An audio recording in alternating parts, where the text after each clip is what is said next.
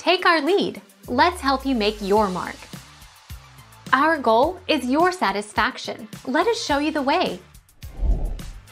Cisapride Propulsid has been withdrawn from the UK market until further notice because it has been associated with serious cardiovascular side effects.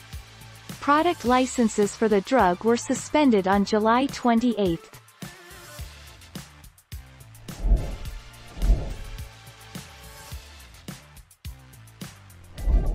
Make your mark. Take our lead.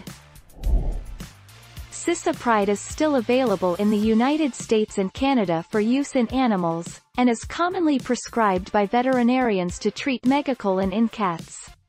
Cisapride is also commonly used to treat GI stasis in rabbits, sometimes in conjunction with metoclopramide Reglan.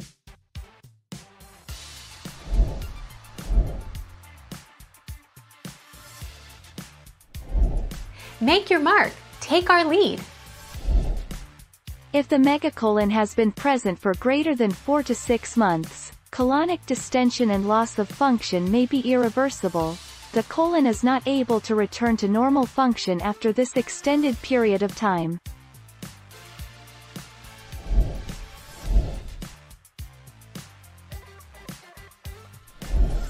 Make your mark. Take our lead.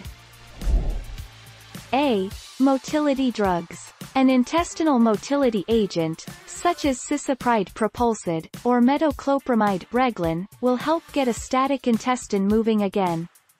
Both of the aforementioned drugs are safe and effective for rabbits.